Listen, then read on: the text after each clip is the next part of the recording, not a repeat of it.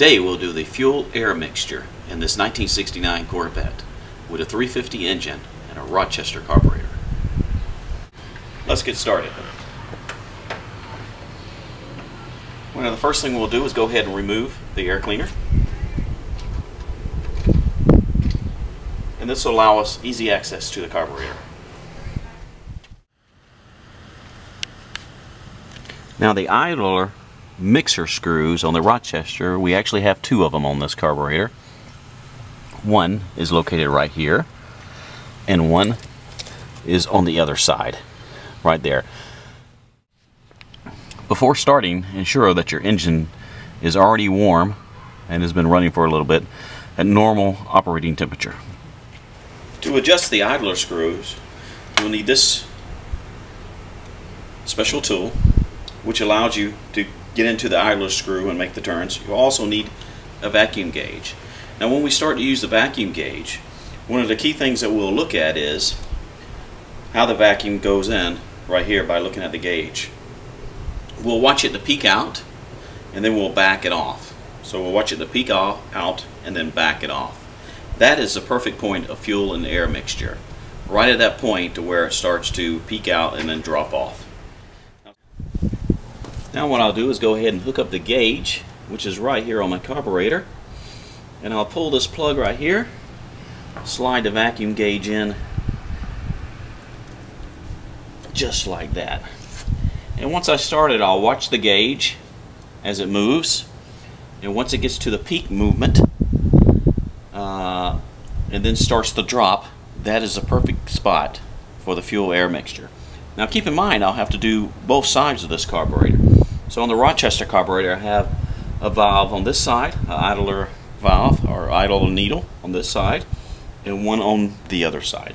So I'll in turn have to do both of them. If I had a Harley uh, Holley four barrel, and in many cases those, those have two in the front and two in the rear. So you'll have to do four of them.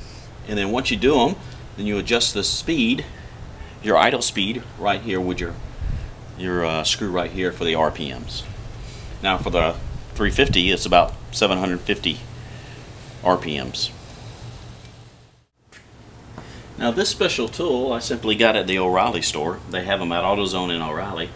And many of these idler uh, idle screws, you, uh, some of them are Phillips uh, screwdriver, some are just a flat tip, and some require this special tool. And it simply just goes in just like this onto the needle and you simply turn it. Now keep in mind, think of safety when operating around cars. You have the belts right here.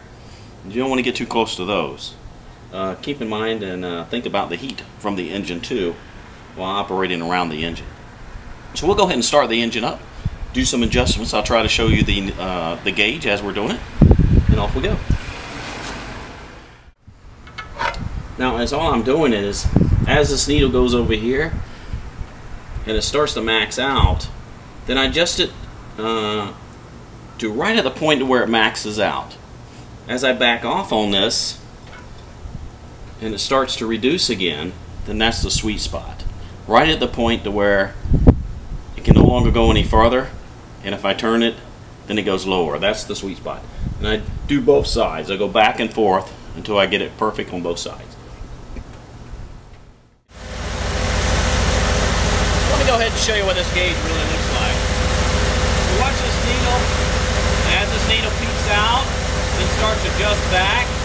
And at that point is a sweet spot. Needle right here. As it peaks out going toward 20, it starts to go back. Right at the point where it starts to go back is the sweet spot.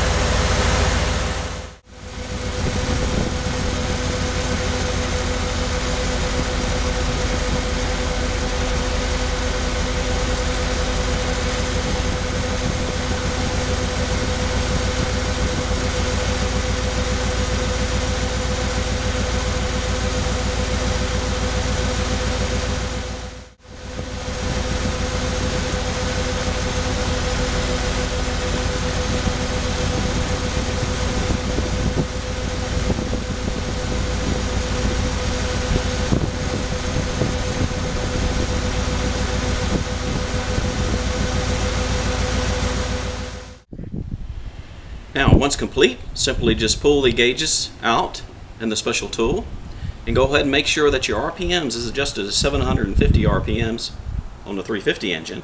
It may differ per car. Now that I have the needle idler adjusted, I'll go ahead and make sure that the RPMs is adjusted to 750 RPMs. And that's simple enough right here. Well, there you go. RPMs is just at 750 RPMs. A perfect fuel and air mixture using the needle idler valve. And we'll go ahead and put it all back together. Another mission accomplished. Let's go ahead and start it up and see what it sounds like.